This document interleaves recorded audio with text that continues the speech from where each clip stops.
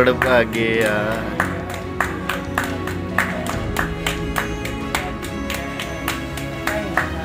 ਵਾਹਿਗੁਰੂ ਜੀ ਕੀ ਫਤਿਹ। ਆ ਦੇਖੋ ਜੀ 105 ਸਾਲਾ ਬੇਬੇ।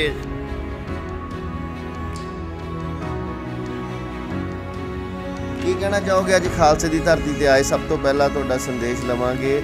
105 ਸਾਲਾਂ ਦੀ ਉਮਰ ਦੇ ਵਿੱਚ ਵੀ ਕਿਰਪਾ ਹੈ, ਪ੍ਰਮਾਤਮਾ ਦੀ ਸਿਹਤ ਠੀਕ ਹੈ।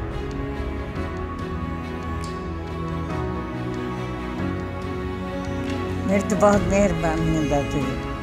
ਉਹ ਉਹਦੀ ਦਇਆ ਨਾਲ ਹੀ ਜਿੱਤ ਗਿਆ, ਉਹਨੇ ਉਹਦੀ ਦਇਆ ਨਾਲ ਹੀ ਅੰਦਰ ਬੈਠਾ ਜਿੱਤਣ ਵਾਲਾ। ਮੈਂ ਨਹੀਂ ਜਿੱਤਦਾ, ਉਹੀ ਜਿੱਤਦਾ। ਵੀ ਪਿਆਰੇ ਨੂੰ ਹਾਲ ਮਰੀਦਾਂ ਦਾ ਕਹਿਣਾ, ਸਾਡਾ ਤਾਂ ਕਹਿਣਾ ਹੀ ਹੈ ਅਸੀਂ ਉਹਦੇ ਹੋਵਾਂਗੇ ਤਾਂ ਉਹਦੇ ਹੋ ਜਾ ਹੋਵਾਂਗੇ ਮਿੱਤਰ ਪਿਆਰੇ ਨੂੰ ਮਿਲਦਾ ਨਹੀਂ ਤਾਂ ਮਿਲ ਨਹੀਂ ਸਕਦੇ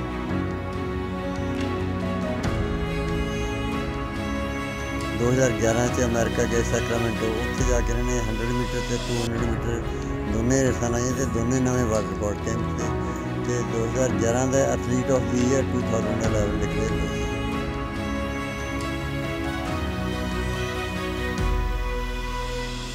ਸਤਿ ਸ਼੍ਰੀ ਅਕਾਲ ਜੀ, ਸਵਾਗਤ ਹੈ ਡੇਲੀ ਪੋਸਟ ਪੰਜਾਬੀ ਤੇ। ਕਹਿੰਦੇ ਆ ਕਿ ਜਦੋਂ ਪਰਮਾਤਮਾ ਦੀ ਮਿਹਰ ਹੋ ਜਾਵੇ, ਬਖਸ਼ਿਸ਼ ਹੋ ਜਾਵੇ ਇਨਸਾਨ ਉੱਤੇ ਫਿਰ ਉਮਰਾਂ ਨਹੀਂ ਦੇਖਦਾ ਤੇ ਸਮਾਂ ਨਹੀਂ ਦੇਖਦਾ ਤੇ ਜਦੋਂ ਬੁਲੰਦੀਆਂ ਕਰਨੀਆਂ ਹੁੰਦੀਆਂ ਤੇ ਬੁਲੰਦੀਆਂ ਕਰ ਦਿੰਦਾ ਹੈ। ਬਿਲਕੁਲ ਇਸੇ ਪ੍ਰਕਾਰ ਦਾ ਤੁਸੀਂ ਸਾਰੇ ਹੀ ਜਾਣਦੇ ਹੋ ਬੇਬੇ ਮਾਨ ਕੌਰ 105 ਸਾਲਾ ਬਜ਼ੁਰਗ ਬੇਬੇ ਜੋ ਕਿ ਇੱਕ ਘਰੇਲੂ ਔਰਤ ਸੀ 93 ਸਾਲ ਦੀ ਉਮਰ ਤੱਕ। ਤੇ 93 ਸਾਲ ਦੀ ਉਮਰ ਦੇ ਵਿੱਚ ਜਾ ਕੇ ਕੁਝ ਐਸੀ ਕਿਰਪਾ ਪਰਮਾਤਮਾ ਦੀ ਹੋਈ ਕੁਝ ਐਸਾ, ਜਿਸ ਤਰ੍ਹਾਂ ਕਹਿੰਦੇ ਆ, ਪ੍ਰਕਾਸ਼ ਹੋਇਆ ਉਹਨਾਂ ਦੇ ਉੱਤੇ ਕਿ 93 ਸਾਲ ਦੀ ਉਮਰ ਦੇ ਵਿੱਚ ਐਥਲੈਟਿਕ ਖੇਡਣ ਦੇ ਫੈਸਲੇ ਲਏ। ਅਮਰੀਕਾ ਤੱਕ ਪਹੁੰਚ ਗਏ ਤੇ 2 ਸਾਲਾਂ ਦੇ ਵਿੱਚ ਭਾਰਤ ਦੀ ਝੋਲੀ ਵਿੱਚ ਮੈਡਲ ਪਾ ਦਿੱਤਾ।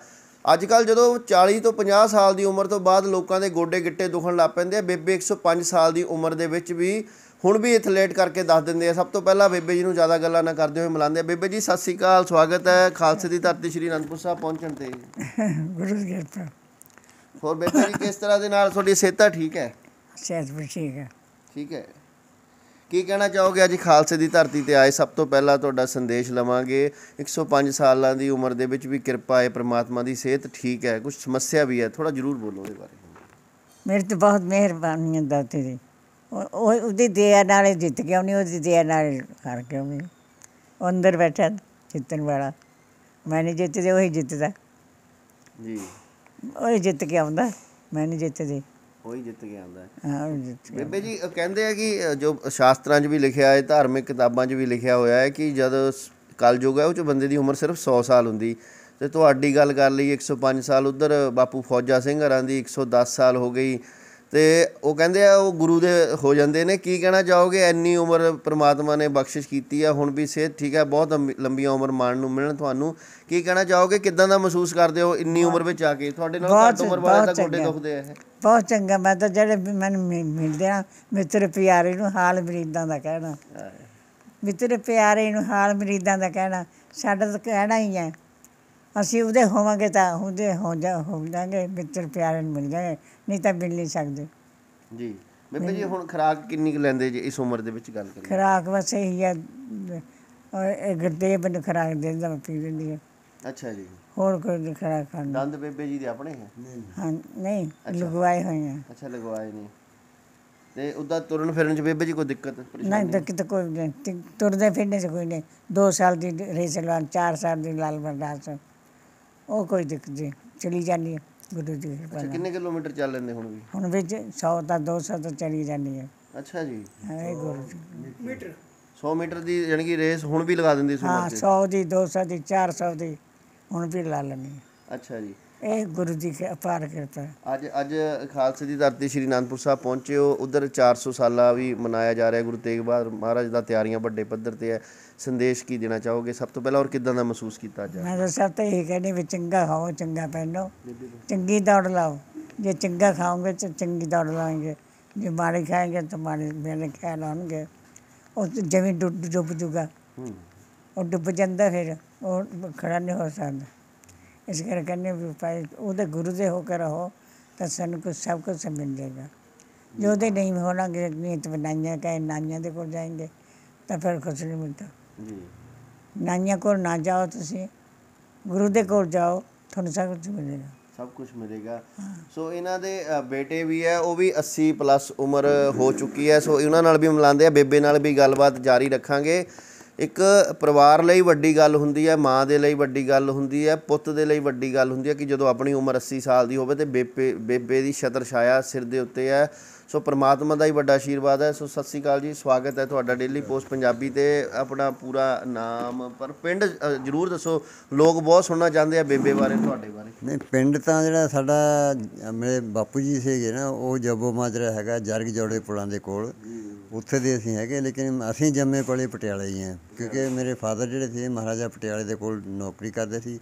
ਮੇਰੇ ਮਦਰ ਵੀ ਮਹਾਰਾਜਾ ਭੁਪਿੰਦਰ ਸਿੰਘ ਨਾਲ ਰਹੇ ਨੇ ਉਹਨਾਂ ਦੇ ਰਾਣੀਆਂ ਨਾਲ ਰਹੇ ਨੇ। ਜੀ। ਤੇ ਉਹ ਜੇ ਪਟਿਆਲੇ ਹੀ ਰਹੇ ਅਸੀਂ ਜ਼ਿਆਦਾਤਰ। ਕਿਹਦਾ ਕਿਵੇਂ ਲੱਗਿਆ ਅੱਜ ਅਨੰਦਪੁਰ ਸਾਹਿਬ ਆ ਕੇ? ਅਨੰਦਪੁਰ ਸਾਹਿਬ ਤਾਂ ਹੁਣ ਦੂਜੀ ਵਾਰੀ ਆ ਚੁੱਕੇ ਹਾਂ ਜੀ ਅਸੀਂ। ਅੱਛਾ ਜੀ। ਤਾਂ ਤੇ ਬੇਬੇ ਦੀ ਸਿਹਤ ਦਾ ਰਾਜ ਕੀ ਆਏ ਬੇਬੇ 105 ਸਾਲਾਂ ਦੀ ਹੈ ਥੋੜੀ ਤੁਸੀਂ ਦੱਸ ਰਹੇ ਪਰੇਸ਼ਾਨੀ ਵੀ ਆਈ ਥੋੜਾ ਜਾਣ ਕੇ ਇਹ ਹਮੇਸ਼ਾ ਖੁਸ਼ ਰਹਿੰਦੇ ਨੇ। ਸਭ ਤੋਂ ਵੱਡੀ ਗੱਲ ਤਾਂ ਇਹ ਹੈ ਵੀ ਖੁਸ਼ ਰਹਿਣਾ ਇਹਨਾਂ ਨੇ।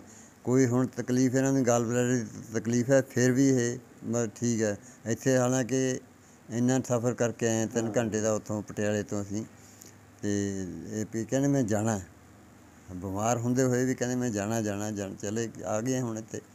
ਤੇ ਬਹੁਤ ਅੱਛਾ ਹੈ ਇਹਨਾਂ ਦਾ ਦੂਜੀ ਗੱਲ ਇਹ ਖਾਣ ਪੀਣ ਅਸੀਂ ਇਹਨਾਂ ਦਾ ਕੋਈ ਬਾਜ਼ਾਰ ਦੀ ਚੀਜ਼ ਨਹੀਂ ਖਾਂਦੇ। ਬਾਜ਼ਾਰ ਦੀ ਚੀਜ਼ ਅਸੀਂ ਬਿਲਕੁਲ ਨਹੀਂ ਖਾਂਦੇ। ਅੱਛਾ ਹੁਣ ਇੱਥੇ ਕਿੰਨਾ ਸਮਾਨ ਸੀਗਾ ਇੱਥੇ ਮਿਲ ਰਿਹਾ ਸੀਗਾ ਸਟਾਲਾਂ ਲੱਗੀਆਂ ਨੇ। ਤਾਂ ਅਸੀਂ ਨਹੀਂ ਖਾਧਾ।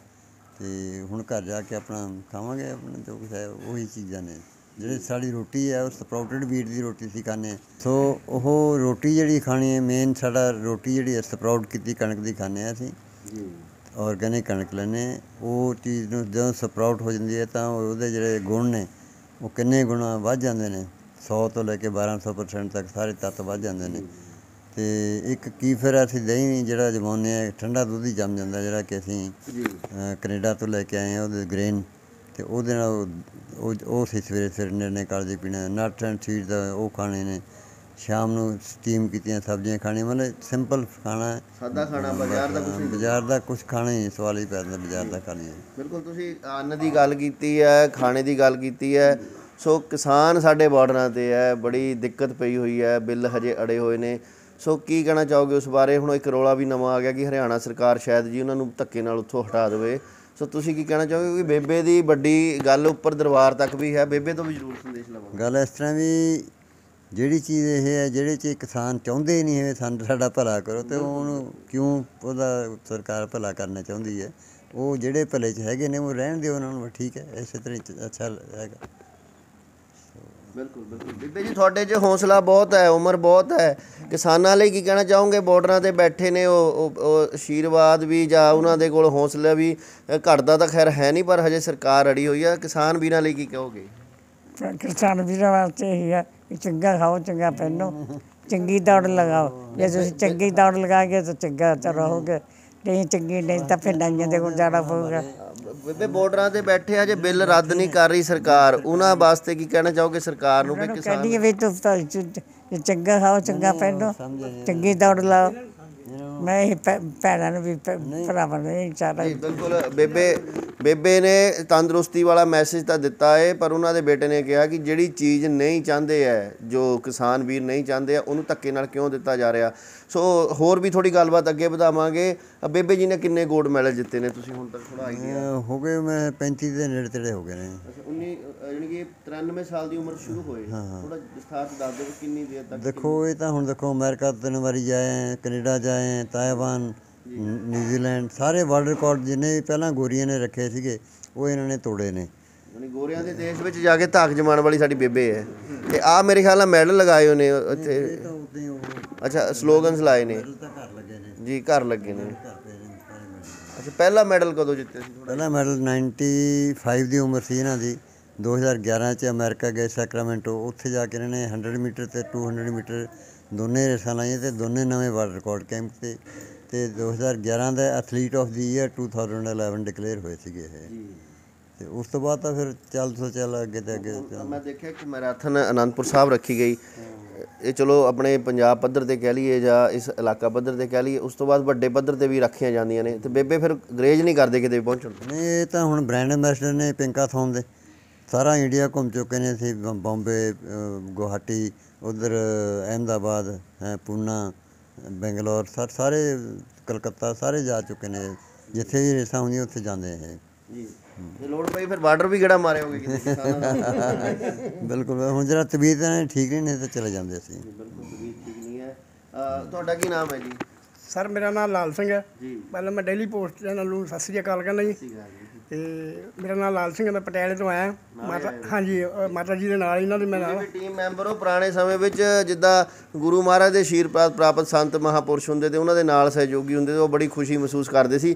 ਤੇ ਤੁਸੀਂ ਕਿਦਾਂ ਦਾ ਮਹਿਸੂਸ ਕਰਦੇ ਹੋ? ਬੇਬੇ ਨਾਲ ਰਹਿੰਦੇ ਹੋ ਹਰ ਵੇਲੇ ਇਹਨਾਂ ਦੇ ਬੇਟੇ ਨਾਲ? ਮੈਂ ਕਹਿੰਦਾ ਜੀ ਬਹੁਤ ਹੀ ਆਨੰਦ ਹੈ। ਆਨੰਦ ਹੀ ਆਨੰਦ ਹੈ ਜੀ ਬਸ ਆਨੰਦ ਹੀ ਵਰਤ ਰਹੇ। ਬੇਪਰਵਾਹ ਆਨੰਦ ਵਰਤ ਰਿਹਾ ਜੀ। ਹਾਂ ਮੌਜਾਂ ਹੀ ਮੌਜਾਂ ਹੀ ਜਦ ਇਹਨਾਂ ਕੋਲ ਆਪਣਾ ਕੰਟੈਕਟ 'ਚ ਆਏ ਇਹਨਾਂ ਦੇ 'ਚ। ਬਹੁਤ ਮਤਲਬ ਲਾਈਫ ਆਪਣੀ ਬੜੀ ਵਧੀਆ ਈਜ਼ੀ ਤੇ ਬੜੀ ਵਧੀਆ ਬੀਤ ਰਹੀ ਹੈ ਜੀ। ਤੁਸੀਂ ਸਕਰੀਨ ਤੇ ਮੈਂ ਕਹੂੰਗਾ ਅਜੇ ਇੱਕ ਵਾਰ ਦਿਖਾ ਦੇਵੇ ਅਨੰਦਪੁਰ ਸਾਹਿਬ ਪਹੁੰਚੇ ਹੈ ਪਰਿਵਾਰਾਂ ਵੱਲੋਂ ਸਵਾਗਤ ਕੀਤਾ ਜਾ ਰਿਹਾ ਆਪਣੇ ਘਰਾਂ ਵਿੱਚ ਲਿਆਇਆ ਜਾ ਰਿਹਾ ਬੇਬੇ ਨੂੰ। ਔਰ ਬੇਬੇ ਦੀ ਵੱਡੀ ਗੱਲ ਹੈ ਜਿੱਥੇ ਸਰੀਰ ਤੰਦਰੁਸਤ ਹੈ ਉੱਥੇ ਜਿਹੜਾ ਵੀ ਬੇਬੇ ਦੇ ਮੱਥਾ ਟੇਕਦਾ ਆ ਕੇ ਗੋਡੀ ਹੱਥ ਲਾਉਂਦਾ ਤੇ ਬੇਬੇ ਸਿਰ ਦੇ ਉੱਤੇ ਹੱਥ ਰੱਖ ਦਿੰਦੀ ਹੈ ਜੋ ਸਾਡੀ ਸੰਸਕ੍ਰਿਤੀ ਹੈ ਜੋ ਸਾਡਾ ਵਿਰਸਾ ਹੈ ਪੰਜਾਬ ਦਾ ਆਸ਼ੀਰਵਾਦ ਦੇ ਕੇ ਨਵਾਜਦੇ ਨੇ। 105 ਸਾਲ ਦੀ ਉਮਰ ਦੇ ਵਿੱਚ ਹੌਸਲਾ ਬੁਲੰਦ ਹੈ। ਔਰ ਪ੍ਰਮਾਤਮਾ ਨੇ ਸਿਹਤ ਵੀ ਫਿੱਟ ਰੱਖੀ ਹੈ ਗਲ ਵਲੈਡਰ ਦੇ ਵਿੱਚ ਕੋਈ ਦਿੱਕਤ ਜ਼ਰੂਰ ਆਈ ਹੈ ਪਰ ਉਮਰ ਵੱਡੀ ਹੋਣ ਕਰਕੇ ਉਹਨੂੰ ਆਪਰੇਟ ਨਹੀਂ ਕੀਤਾ ਜਾ ਸਕਦਾ। ਪਰ ਬਾਵਜੂਦ ਉਸਦੇ ਸ਼੍ਰੀ ਅਨੰਦਪੁਰ ਸਾਹਿਬ ਦੀ ਗੱਲ ਕਰ ਲਈਏ ਅ, ਕੈਨੇਡਾ ਅਮਰੀਕਾ ਦੀ ਗੱਲ ਕਰ ਲਈਏ ਕਿੱਥੇ ਵੀ ਅੱਜ ਵੀ ਮੈਰਾਥਨ ਦੀ ਕਾਲ ਆ ਜਾਵੇ ਬੇਬੇ ਉੱਥੇ ਪਹੁੰਚ ਜਾਂਦੀ ਹੈ। ਸੋ ਬੇਬੇ ਜੀ ਬਹੁਤ ਬਹੁਤ ਧੰਨਵਾਦ ਸਾਡੇ ਨਾਲ ਗੱਲਬਾਤ ਕਰਨ ਦੇ ਲਈ। ਗੁਰੂ ਦੀ ਕਿਰਪਾ। ਅਪਾਰ ਬਿਗੜ ਸਭ ਗੁਰੂ ਦੀ। ਉਹੀ ਜਾਂਦਾ ਹੋਈ ਲੈ ਖੇਡ ਆਪੀ ਜਿੱਤਦਾ ਆਪੀ ਹਾਰਦਾ। ਆਪੇ ਜਿੱਤਦਾ ਤੇ ਆਪੇ ਜਿਤਾ ਦਿੰਦਾ। ਸੋ ਇਹ ਸੰਦੇਸ਼ ਹੈ ਬੇਬੇ ਦਾ, ਸਭ ਕੁਝ ਸਮਰਪਿਤ ਗੁਰੂ ਮਹਾਰਾਜ ਨੂੰ ਕੀਤਾ ਹੋਇਆ। ਸੋ ਤੁਹਾਨੂੰ ਦਿਨ ਪਰ ਐਸੀਆਂ ਮਹਾਨ ਸ਼ਖਸੀਅਤਾਂ ਦੇ ਨਾਲ ਮਿਲਾਉਂਦੇ ਰਹਾਂਗੇ। ਫਿਲਹਾਲ ਡੇਲੀ ਪੋਸਟ ਪੰਜਾਬੀ ਦੇ ਲਈ ਸਹਿਯੋਗੀ ਅਜੇ ਪੁਰੀ ਦੇ ਨਾਲ, ਸ਼੍ਰੀ ਅਨੰਦਪੁਰ ਸਾਹਿਬ ਤੋਂ ਗੌਰਵ ਰਾਣਾ ਦੀ ਰਿਪੋਰਟ।